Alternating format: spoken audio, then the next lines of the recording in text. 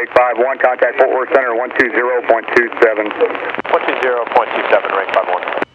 One Kilo Romeo, if you have time, give me your personnel on board and fuel remaining in minutes. I understand you're losing power, but if you have time, give that to me. Uh, roger that. We have uh, two hours fuel, one sold. Okay, and, then let me know if you want to go to Abilene. That's your option. It's at your 12 o'clock, about 45 miles right now. Roger that. We'll uh, try that. Uh, we're just trying to glide on down Kilo Romeo. We also have Aspermont real close. I can give you some uh, some specifics on that if you wanted. Yeah, can you give me some weather? I'll I'll look at that. Okay, let me get it for you. Stand by.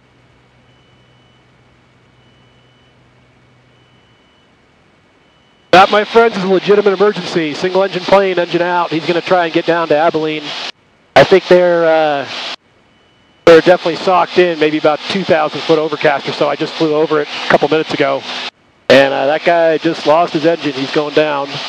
So we're going to uh, stay on the radio here, and we'll see what he does.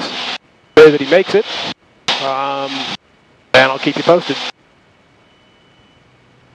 Uh, his call sign was 21 Kilo Romeo. I'm not sure what type of airplane it was. And uh, uh, 21 Kilo Romeo Aspermont's off your uh, 2 o'clock, about 5 miles south of you. I'm going to get the information right now. It's a hard, surface, uh, hard surface 4,000 feet long, uh, runway 17 and 35. And uh, like I said, it's off your, uh, about your 2 o'clock, 2 to 3 o'clock now, 5 miles. Uh, roger that. Uh, we're just, we're IMC right now, just trying to head her on down. 1 Kilo Romeo, roger. Let me know if you need anything else. All right, thank you.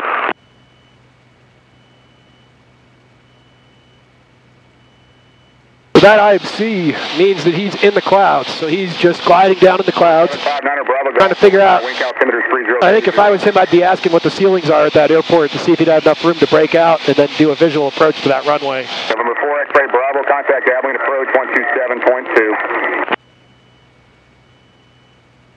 Hey, 1 Kilo Romeo, this complete engine failure? Is that what you have? That's firm, Kilo Romeo. And 1 Kilo Romeo, I know you're busy right now, but you have another airport option, Albany Municipal. That's at your uh, 12 o'clock, about 35 miles. It's a hard surface, 5,000 feet, runway 17 and 35, also 12 o'clock, about 35 miles. Roger that, uh, Kilo Romeo. Uh, is this on my current heading? Do I need to head more towards Abilene? Uh, if you're, if you're, you can stay on your current heading for Albany right now if that's where you want to go, if you want to make that an option. Uh, if you want to go to uh, Abilene, that's off your, uh, let's get you your mileage here. Got 150 heading for about 90, or about 50 miles for uh, Abilene. For Albany, you're looking at uh, your current heading for about uh, 42 miles. All right, what about Stamford? Is there, how close is that? And stand by. And 1 Kilo Romeo, that's a good bet there. Uh, Stamford's off your uh, 1 o'clock for uh, 20 miles right now. Okay, let's see. Is that uh, uh, Harrison Fox 75 or what is that?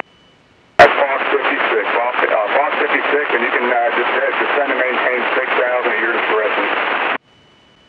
I don't know why the controller's giving him altitudes. His engine's out. He's going to keep going down. That's firm.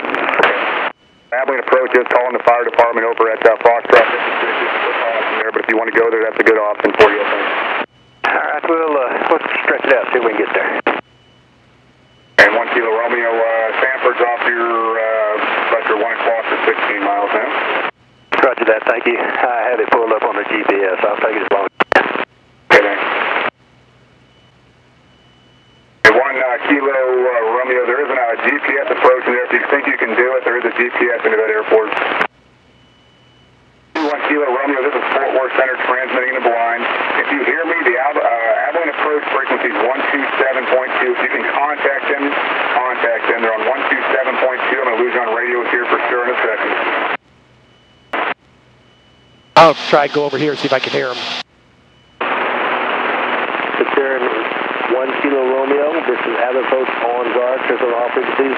Stamford Airport is a 130 bearing at 2.5 miles from your position now. Center 2 X-ray. You got time for a question? Uh, yeah, two tier X-ray, go ahead. That guy that was going down over Abilene, do you know what happened to him? He landed safely.